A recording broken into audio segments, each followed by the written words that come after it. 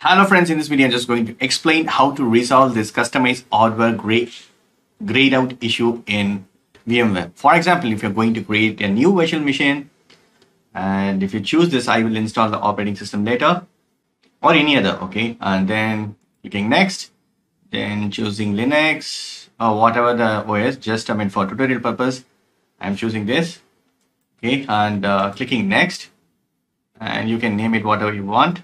Next then next. So here, right, if you click this customize hardware, you can see this is grayed out.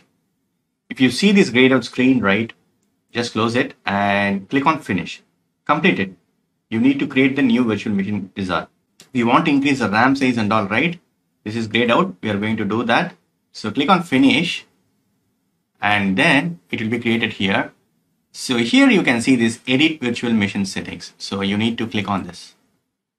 So once you click on this right here, you can see this allocated memory, processor, hard disk details and all.